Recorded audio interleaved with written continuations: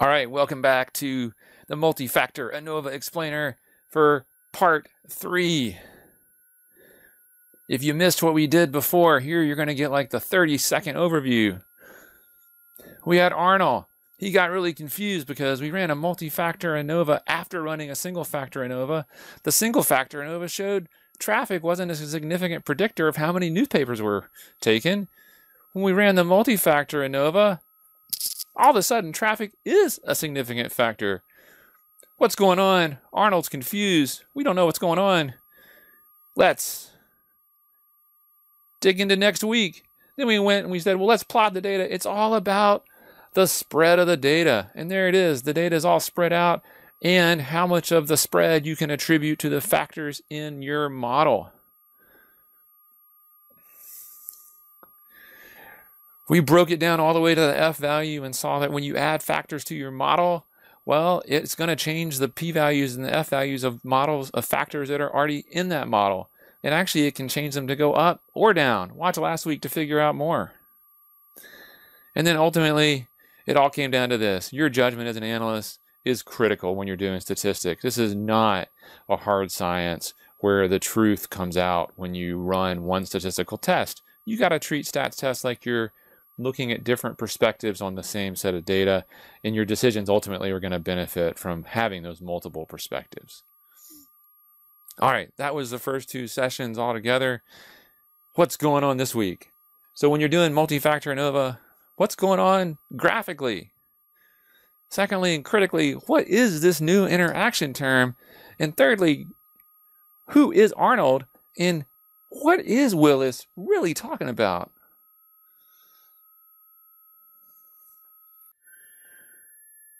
All right, this graph actually tells you a huge amount. It tells you essentially all the conclusions we're going to draw from multi-factor ANOVA. Multi-factor ANOVA is just going to tell you are these things we're finding in this graph statistically significant or not. You may recall we have newspaper distribution points. Some are inside and some are outside locations. In these distribution boxes are either in low, medium, or high traffic areas as shown on the graph. Um, we collected data from 60 distribution boxes. That's why there are 59 degrees of freedom. And we actually had 10 at each of these different six possible settings. A setting being like an inside location that is low traffic right up here. One thing you can see is that whether you're inside or outside makes a big difference. These are all the inside locations. These are the outside locations. It looks like inside locations have a lot more papers taken from them. Something else you can see is that there's not a lot of difference inside depending on the traffic of that inside area. Whereas outside, it looks like there might be a difference based on traffic uh, level and how many papers are taken. Now, are these differences statistically significant or not? That's what we need multi-factor ANOVA to help us figure out. Looking at this way of viewing our factors is really helpful in understanding multi-factor ANOVA results and really sets us up to think about design of experiments also. First of all, I want to point out that this is a balanced design. And what that means is that we have the same number of distribution boxes at each of our six possible types of distribution boxes.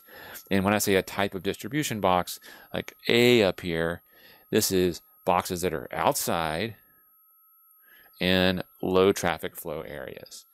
And so with a with only two factors, we can visualize this here on a flat two-dimensional um, uh, representation of our six total possible combinations or types of distribution boxes we're going to use um, this uh, representation of our uh, factors to look at our main effects plots. Main effects is a very important term in multi-factor ANOVA in design of experiments. It's just the effect of each factor by itself. And, and by looking at these plots, what we can see is that location makes a big impact on how many papers are taken. That's because we can see that because of this steep slope, this big difference between inside and outside. It looks like traffic, on the other hand, has maybe a little impact, maybe maybe higher traffic areas um, have more papers taken than lower traffic, but it's not as big of an impact as um, location. But where are these data points coming from? Let's look right up here. It's important to understand where this average comes from. And in this case, what we're doing is we're taking all the data from points that are inside and averaging those points to get the main effect plot. And so data from D, E, and F, 30 data points are used to form in that that um, that mean value. Down here, it's all the points that are outside. So A, B, and C. And so important also to note is that there are 30 data points at each of the inside and the outside to inform, you know, what what uh, what's the mean value to plot on the plot. Similarly, over here on the traffic, our low traffic area is from data in points A and D. Medium traffic from points B and E, and high traffic from points C and F. Each of these points on the main effect plot for traffic um, is, is based on data from um, 20 distribution boxes. And so uh, the total 60 divided by 3. This is a real powerful element uh, of multi-factor ANOVA when you have uh, points at every combination uh, for the combination of your different factors. Um, and it's referred to as a full factorial design. More on that later. And a power of that is it's very efficient in its use of data. All the evaluations are using all of the data points to make the evaluations. Hey, slight note is that the way uh, Minitab, which I use to make this graph, computes these graphs, actually uses the quote unquote fitted means when it plots it on this graph. And so the fitted means are slightly different but everything, the concept that I just said, um, is totally valid. Just know that the fitted means are a little different than if you were to take the actual data points and just average them to try to form some of these points on this graph. Ah, interaction plots. These are a really cool part of multi-factor ANOVA. And an interaction is just looking at the impact of more than one variable at a time. In this case, two variables at a time or two factors at a time. Let's look at the top right plot uh, first. This plot is splitting up our data a little differently than the main effects plots. And you can see this blue line, uh, the, the higher line is for distribution boxes that are inside, and the red dotted line, dash line, is for distribution boxes that are outside. And from left to right, the three points are for low, medium, and high traffic areas. So what this is saying is that, you know, for distribution boxes inside, it looks like traffic doesn't change things very much. And then for distribution boxes outside, this red dashed line, it looks like actually the more traffic there is, you're seeing uh, more papers being taken. Uh, this plot in the bottom left actually is the exact same six data points from above, just grouped differently. And so now we're grouping it by inside versus outside location. And just like before, we saw that traffic didn't matter very much when we were inside. That's represented here by all of these three lines for low, medium, and high traffic being very close to each other inside. Outside, however, we see that our blue line, which is low traffic, has the fewest papers taken, and our green dotted line which is high traffic areas, has the most papers taken. That's all an interaction is. It's saying that the impact of one factor depends on the setting of another. The impact, for instance, in the top right plot up here, the impact uh, of um, of traffic from left to right depends on whether you're inside or you're outside. And you could flip that and think about it the other way in the bottom left graph. The impact of location, inside versus outside, isn't the same for low, medium, and high traffic areas. They all get more traffic inside than outside, but the change from from uh, outside to inside is the biggest for areas that have low traffic. And that's what an interaction is. Let's go and look at our model in the bottom right corner, our representation of our two factors, location and traffic flow, and how they map to an interaction plot. And because we actually know these two different interaction plots are just different ways of grouping the same data, I'm only going to focus on the top right one. And now what we're going to see is, let's start by looking at this point right here. Those are inside locations at low traffic. Inside locations, low traffic. Those are going to be the 10 distribution boxes at point D is going to is going to be what forms that data point. And then right here, this is inside locations that are medium traffic. And then finally, inside locations that are high traffic is point F.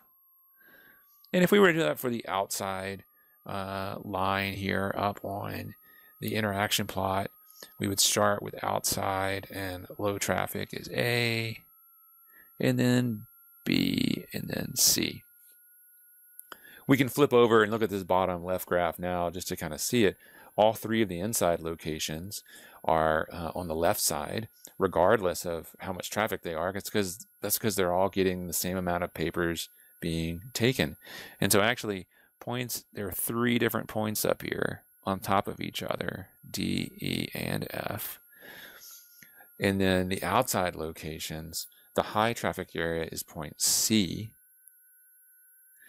The 10 distribution boxes from point C. The 10 distribution boxes from point B are the medium traffic.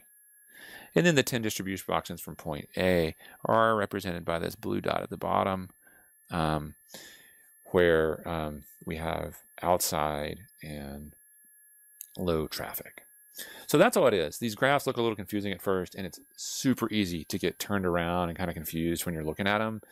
But A, know that the, the top right graph and the bottom left graph, it's the same information, just presented differently. So sometimes one is easier to interpret than the other.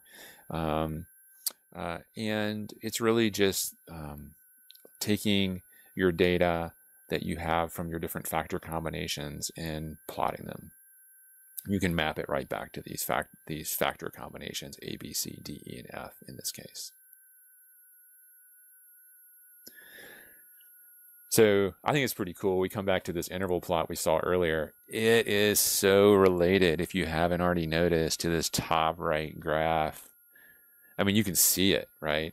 The blue, the blue um, line on the interaction plot for inside locations. I mean, it's right here. I'm drawing it in red, and then the dashed line for outside locations is right down here. Um, I've always been kind of bummed out that they don't put uh, confidence intervals on interaction plots. But you know, if you want to get your confidence intervals, you can go and make the same kind of plot using an interval plot as an example.